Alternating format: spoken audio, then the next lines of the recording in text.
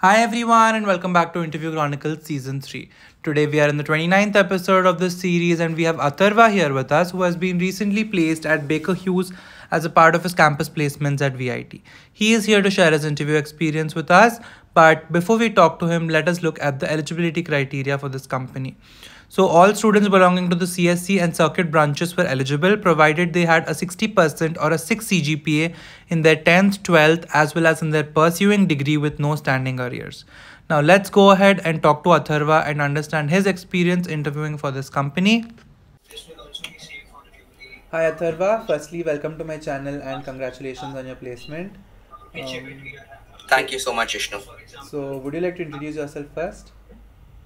Yeah, sure.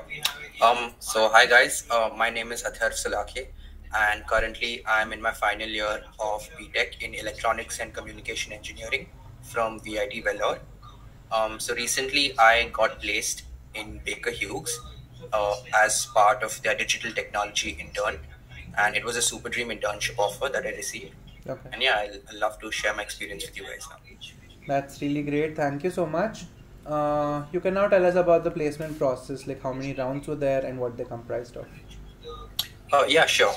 So the interview process of Baker Hughes was pretty different as compared to other companies, you know, because Baker Hughes was probably 20th company that I sat for, so I had seen a lot of uh, know, processes before that. Right. So coming to Baker Hughes, the first round was that of a digital interview. So in total there were five rounds. Okay, so in total there were five rounds, and uh, okay, so before all of this, I'll just talk about the eligibility criteria because I think that's important as well. Sure. Um, so, um, okay, so talking about uh, the process for Baker Hughes, firstly, the eligibility criteria in VIT was 9 CGPA. That was that was the cutoff. So, a total of about 300 students across all four campuses were shortlisted. Okay. And following that, there were five rounds that followed. So, the first round was that of a digital interview. Okay, so this was an AI based round in which uh, we had to record our answers. There were a total of five questions, and it was mostly you know managerial HR type questions. Okay. Um, I remember one of the questions was uh, a project that I had worked on, and what were the challenges I faced in that, and how I overcame it. Okay. So you know this sort of a thing. It was just to gauge you know what kind of work you have done, and just to understand your personality. That's Right. what I thought of it. Okay. So uh, from that round, around I think 50 people were eliminated. So then we were down to 250 people. Hmm. So then the second round, of course, was your technical test. Right. Uh, this round was online and it consisted of MCQs only. Okay. And the topics that were asked were obviously all of your DSA, Hmm. DBMS, OS, and computer networking. Okay. So all of these four core subjects were asked. Uh, there were a few pseudo codes. You had to uh, a few SQL queries.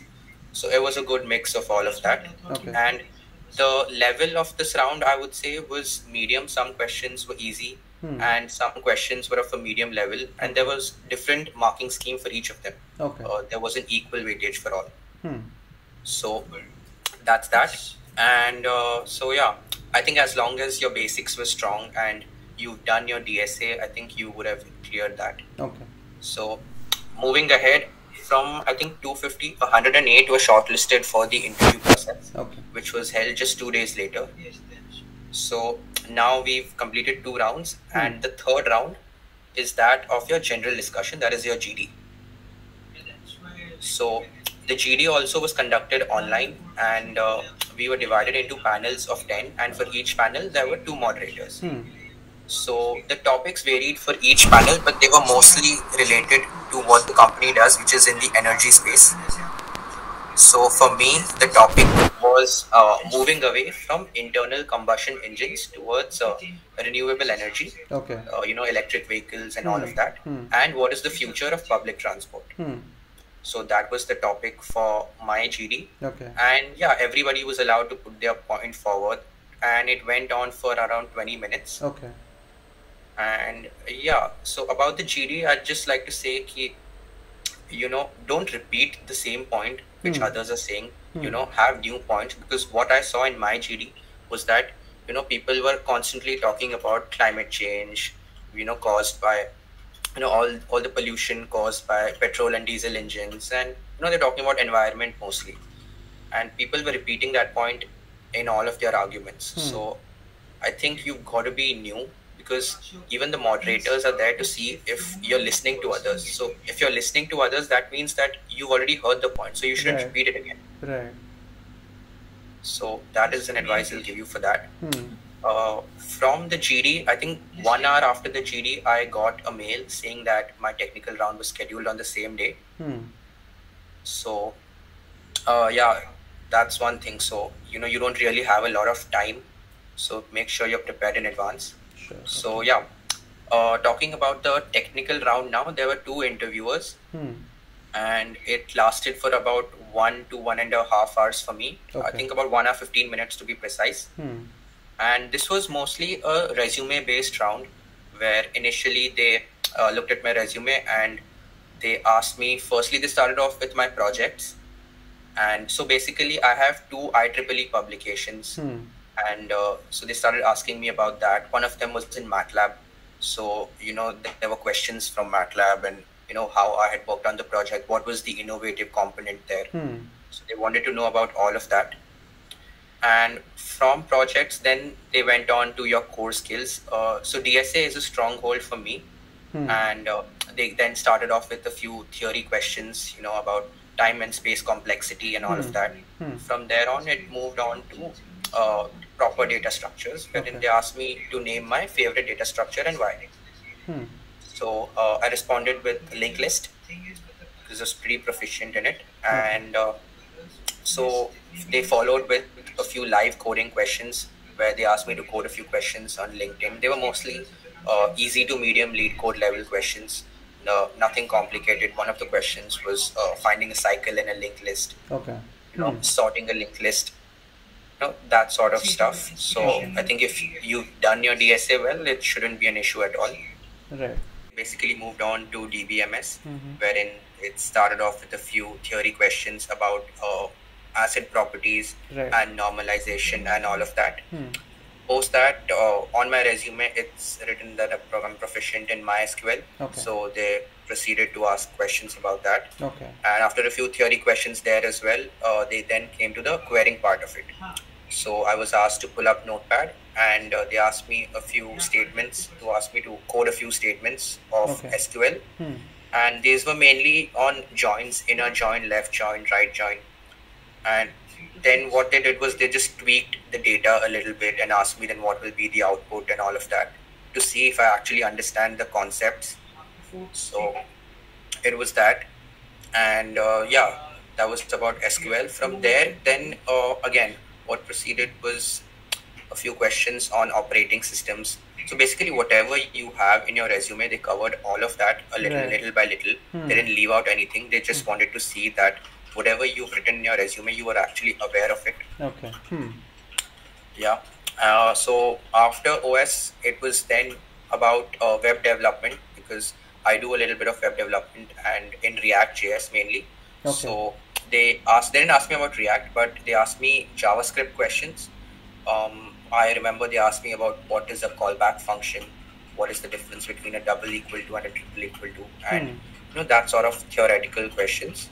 From there, they asked me some about CSS as well, you know, Z index and all that sort of stuff. Right. So out of all of this, I, I do remember that I was not able to fully answer a couple of questions on uh, JavaScript, Hmm.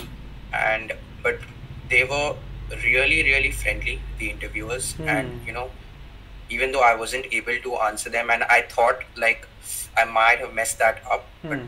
they really reassured me and uh, just told me to read up on it Right. And and uh, so that was that was nice that really boosted my confidence i feel Hmm. so after all of this then uh, we moved on to extracurriculars so basically i am in, in the drone team of vit Vellore. Hmm.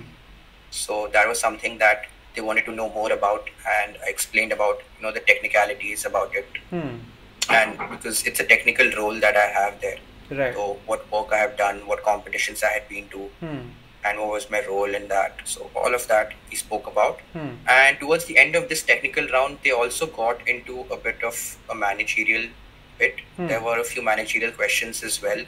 Um, one of the questions I remember was, let's say I'm currently in a particular role, Hmm. and that role has really good prospects for the future, Hmm. and you know that you're going to do well in that role. Hmm. On the other hand, there's a role which you're really passionate about, but you haven't really done any work, but you like that subject or you Hmm. like that core area. Hmm. So, which one would you choose? You know, just to get into my mind, understand what is my interest. So they Right. asked a few sort of these sort of questions, Hmm.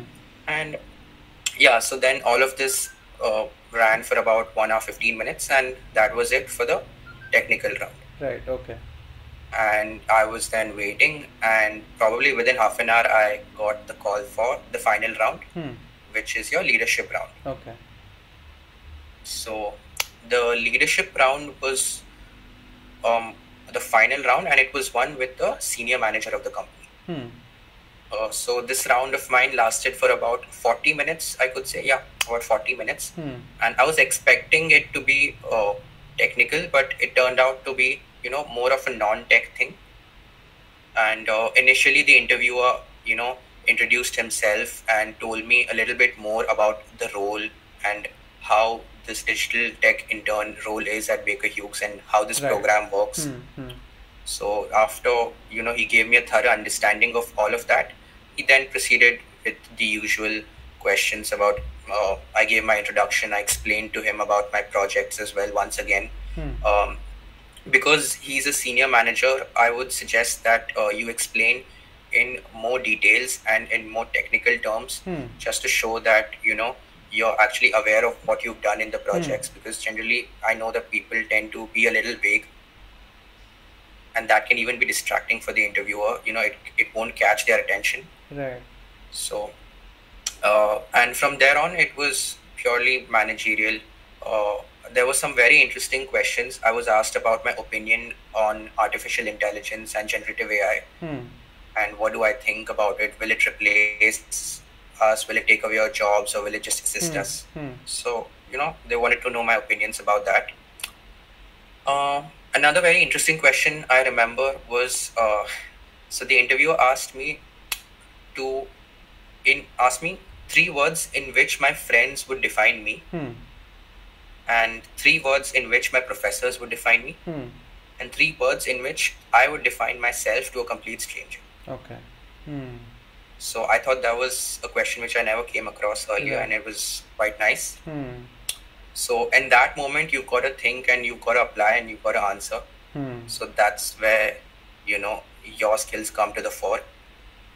And uh, finally, uh, in the end, I asked him questions about a little bit more about the role and maybe in de- in depth and then basics about location and all of that. Hmm. So that lasted for 40 minutes. I would say that this was more of a fruitful discussion that we Hmm. had rather than an interview Right. because you know you even had the interviewer explaining everything to me and on the other hand it was even me who was telling him everything so it was it was very comfortable Right. Hmm. so that was the final round and just i think 2 hours after this round uh, i got a call that i had been selected Okay. and uh, talking about the metrics about it so 108 people went into the group discussion Hmm. and from the group discussion from what i knew was that from each panel of 10 only 3 to 4 were selected for the technical round Hmm.